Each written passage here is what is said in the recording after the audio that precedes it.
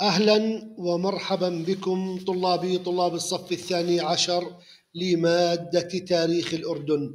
ها نحن طلابي نطل عليكم من جديد ونلتقي ليكون الحديث خلال هذه الفترة هذا الأسبوع والأيام القادمة عن الأجهزة الأمنية في الأردن ويكون والحديث بداية عن مديرية الأمن العام.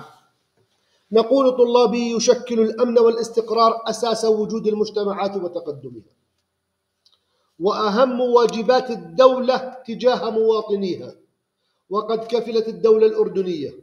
حق الحياة للمواطن الأردني ولرعاية الدولة المقيمة ولرعاية الدول المقيمة على أرضها عن طريق الأجهزة الأمنية التي اتخذت على عاتقها السهر لتوفير حياة كريمة للمواطن الأردني وللمقيمين على الأرض الأردنية.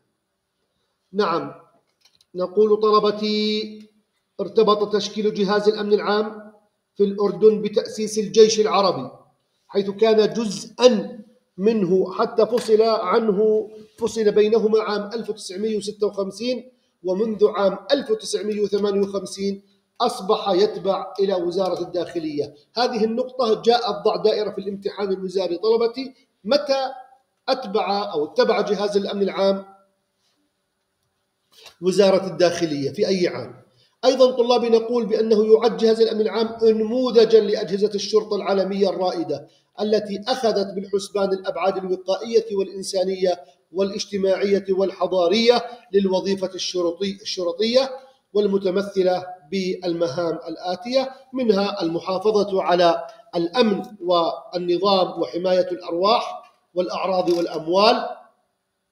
لذلك من هذه العبارة التي نراها أمامنا أينما تكونوا تجدوننا بعزم وثبات سندا وعونا ولأكمل وأقول سندا وعونا لكل من يعيش على هذه الأرض على أرض وطننا الغالي الأردن.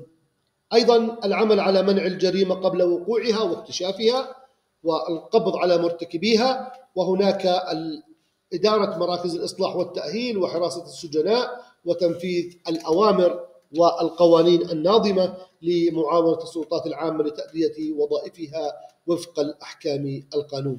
والعمل على مراقبة الطرق آه، والعمل على مراقبة النقل على الطرق وتنظيمه. هذا طلابي مجمل الحديث عن موضوعنا موضوع الأمن العام جهاز الأمن العام والتطور الذي حدث عليه. شكرا لكم طلابي الأعزاء. على أمل اللقاء بكم بحصة قادمة بإذن الله. دمتم برعاية الله.